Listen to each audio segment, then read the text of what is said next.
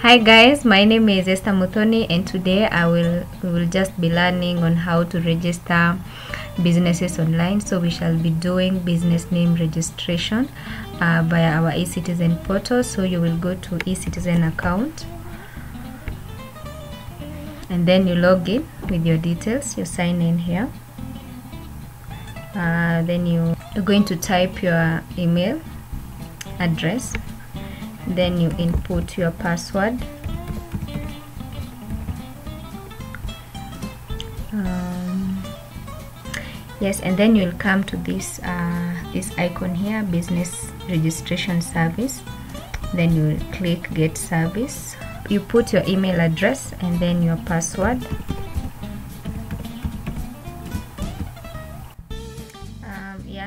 will come here and click on business name registration. You say apply now and then it will give you these details. Um, these details will yeah for instance the business name is the simplest business form under which one can operate a business. Uh, it is not a legal entity. That means that um, it is not separate from the owner. So this is not like like simply refers to a person who owns the business and is personally responsible for its debts. So if you register a business name you're personally liable for any debts that your business will accrue to third parties. Uh, before you register a business name uh, through the system um, these are the things that uh, the system wants you to know. And it is explaining that a business name is a name or a title under which a person or an entity conducts a business. So in short a business name registration will just um, will just give you that uh, that status that you're the, the owner of that that business and maybe you're operating through a certain particular name. So it is better to register your business because now people will know you by that and then now we proceed to apply. Click on application. And then here just many stages like preferred names um, um, in the past we used to do um, a name search and then name reservation.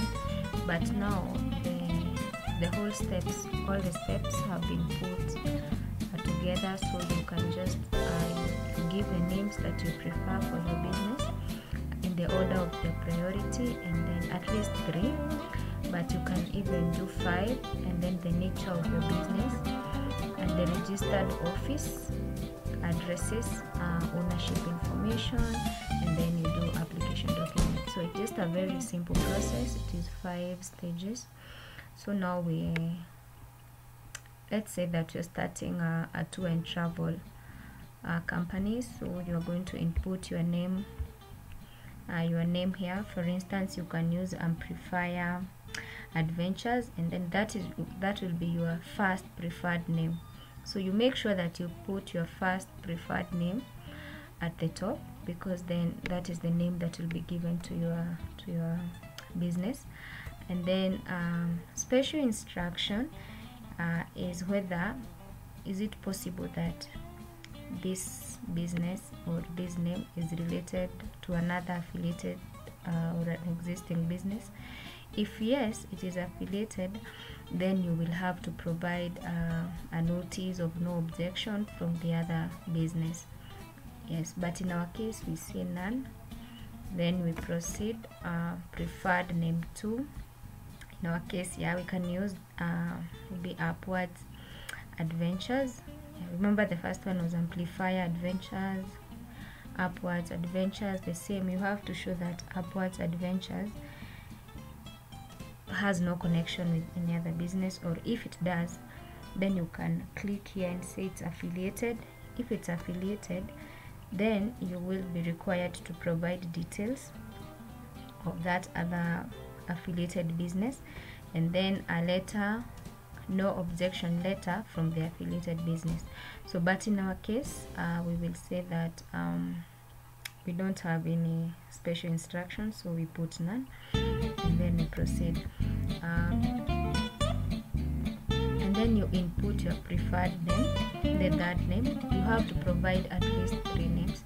So we can call our business uphill adventures. So this is how they appear in the order of we have adventure, we have upward adventure, and we have uphill adventures. And even in this case we see that we are not affiliated to any business so yeah put none here and then uh, for name 4 you don't have to fill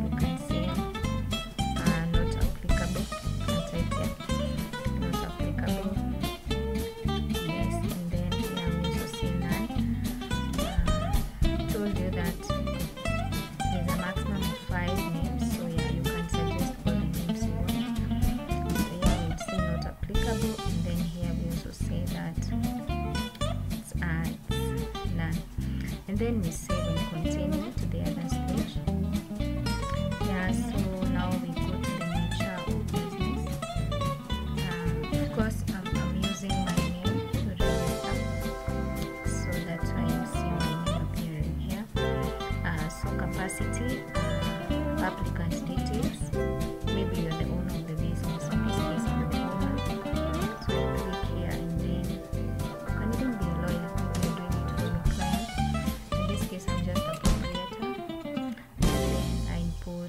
address here.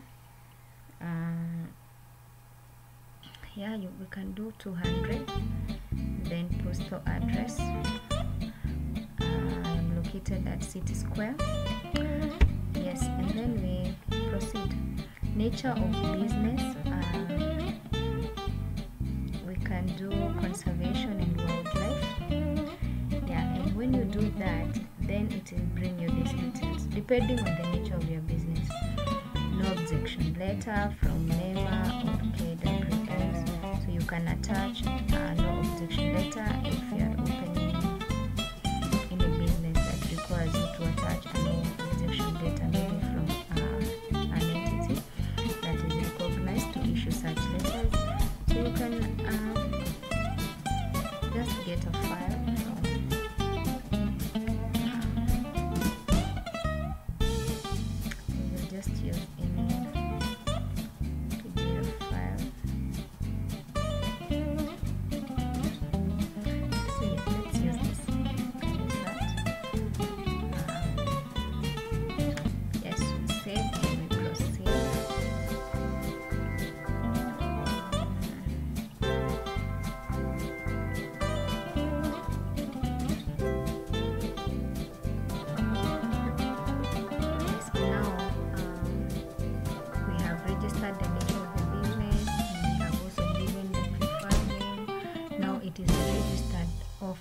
address of the business.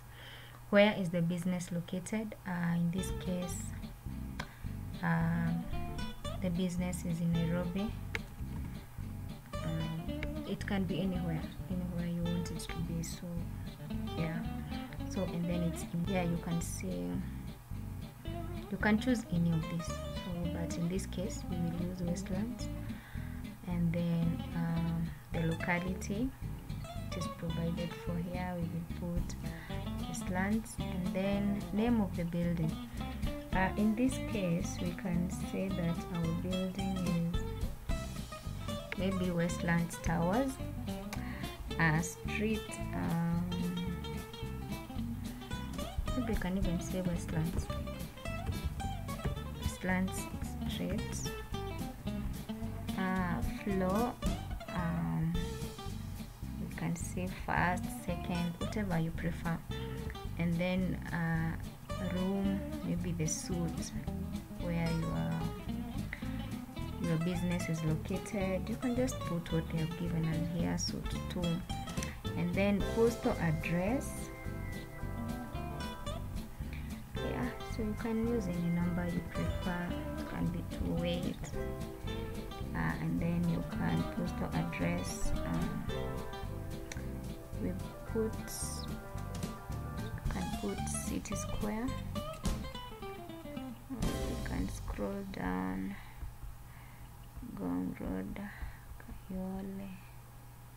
And we can put Westlands yeah and then we proceed uh, mobile number. You any number you have for your business you can put there.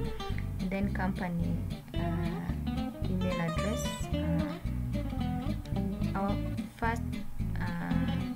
Name was amplified so we can use amplified at gmail.com and then yes so if there are other addresses that you'd like to add for your business you can add them here add other addresses. But in our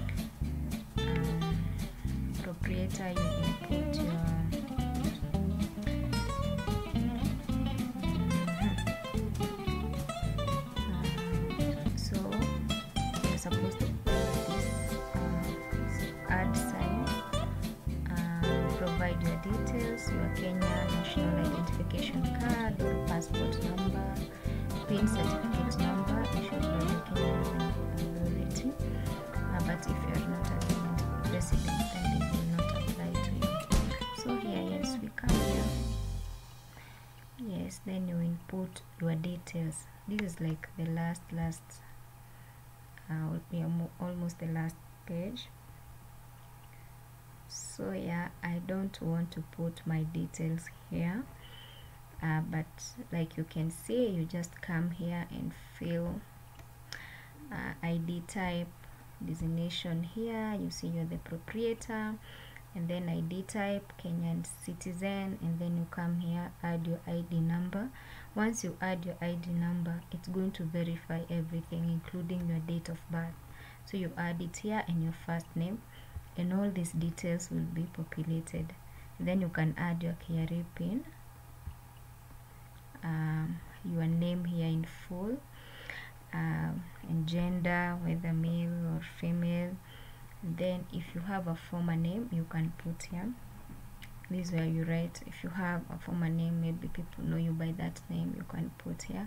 And then your phone number and email address as well as uh, postal address and the postal code. Yeah so yes. And then you attach uh, a passport. So you choose a file and uh, you attach a passport size photograph.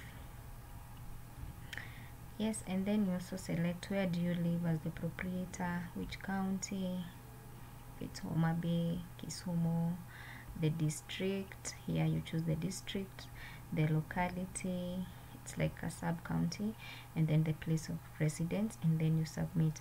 And then the final stage now it will be uh, you will be able to download your your application documents and then now you pay. It's around I guess less than 1000 to pay for this application. Yes and you're going to be done and then you submit it and you, you wait for some few days uh, and then you will be told if you have been successful or not.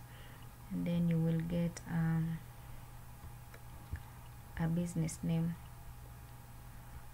uh, registration certificate showing your registered business and your details as the proprietor the place of the business and all such details. And yes that is the process of registration of business name. It will take you less than 10 minutes if you have all the details. Yes and then you will just pay by M-Pesa like I said it's just around guess 850 so yes so thank you guys for watching this video. Yeah let me know how you if you have been able to register your business through this eCitizen portal